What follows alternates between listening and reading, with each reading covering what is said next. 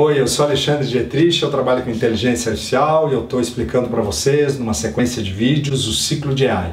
A gente já cobriu a fase de design e planejamento para encontrar um caso de uso, a gente já passou pela fase de dados para criar as primeiras amostras de dados para você poder treinar e criar um modelo de machine learning. Nós passamos pela fase de fato de construção e treinamento de machine learning e depois nós jogamos todo esse modelo que nós criamos de fato num ambiente de produção onde clientes ou usuários finais, funcionários pudessem estar utilizando, dando dados de entrada, capturando resultados e dando feedbacks e gerando uma nova massa de dados muito importante para a etapa seguinte, que eu chamo agora da fase da evolução do modelo uh, constante, certo?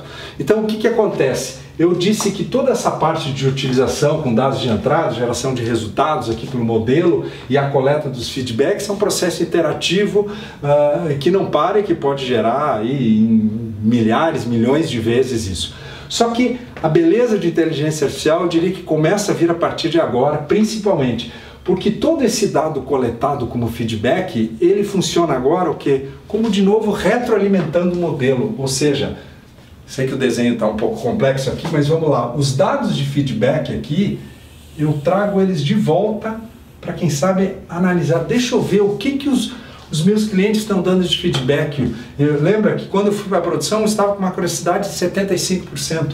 Só que agora eu tenho uma nova massa de dados que eu possa trabalhar. Né? Dados de entrada mais os feedbacks, quer dizer, que eu possa trabalhar, analisar e quem sabe entrar de novo num ciclo aqui de melhoria do meu próprio modelo, certo? Evoluindo, quem sabe chega à conclusão que a minha minha acuracidade depois com esses novos dados aqui chega em 85%, pô, tá melhorando, tá evoluindo, jogo de novo o modelo para para produção, quer dizer, recebo novos dados aqui de entrada, uh, tenho novos feedbacks, retorno novamente aqui esse ciclo, quer dizer, um ciclo que não para. Pode ser que eu chegue à conclusão que o meu modelo, uh, de fato, não basta só os dados que eu tenho, pudesse estar tendo que coletar alguma outra informação, mas que melhor dados que não os próprios dados vindo de produção.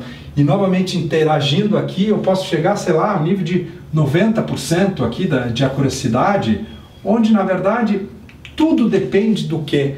Qual é a curiosidade que eu devo parar? Depende do meu caso de uso, depende aonde eu quero chegar, quanto custa esse ciclo de ficar jogando para a produção, retroalimentar, colocar. Então isso varia de acordo com o caso de uso é hora também de a gente estar comparando. Eu defini um caso de uso, eu defini umas métricas de performance que eu gostaria de atingir. Eu estou atingindo.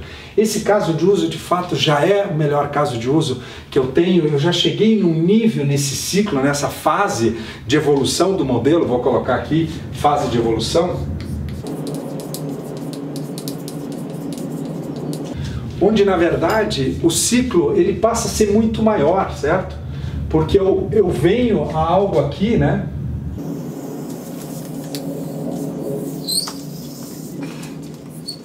Ou seja,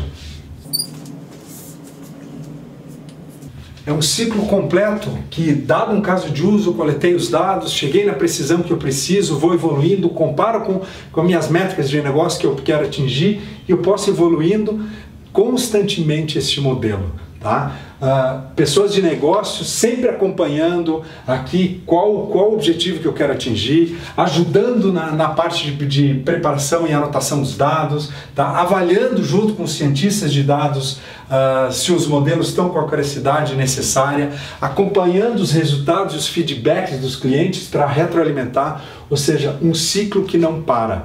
Ele parece complexo, mas vocês vão perceber que em todos os projetos de inteligência artificial, seja projetos onde eu estou construindo do zero um modelo de machine learning, deep learning, ou mesmo se eu estou usando uma API de conversação, tá, onde quem sabe eu não entro tanto na complexidade de construir que algoritmo eu uso, mas o ciclo de, de poder preparar, ver uma resposta, pegar o feedback, retroalimentar, buscar mais dados, retreinar o meu serviço ou construir do zero um modelo, tudo isso se repete, tudo isso vai.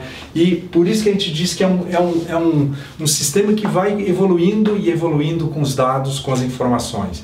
Então essa é a beleza de, do uso da inteligência artificial para resolver problemas de negócios, para encontrar novas oportunidades e quem sabe até para criar novos modelos de negócios utilizando inteligência artificial. Espero que vocês tenham curtido, tá? Essa é uma sequência de vídeos, esse é o último vídeo, é o quinto vídeo, onde eu explico todo esse ciclo. Se vocês não viram os primeiros, acompanhem desde o início uh, do que eu chamo de o ciclo de AI e é algo que de fato se repete em praticamente todos os projetos de inteligência artificial, principalmente quando a gente está usando machine learning supervisionado. Obrigado pela atenção e se curtirem, dê um like, continuem acompanhando aqui no canal. Obrigado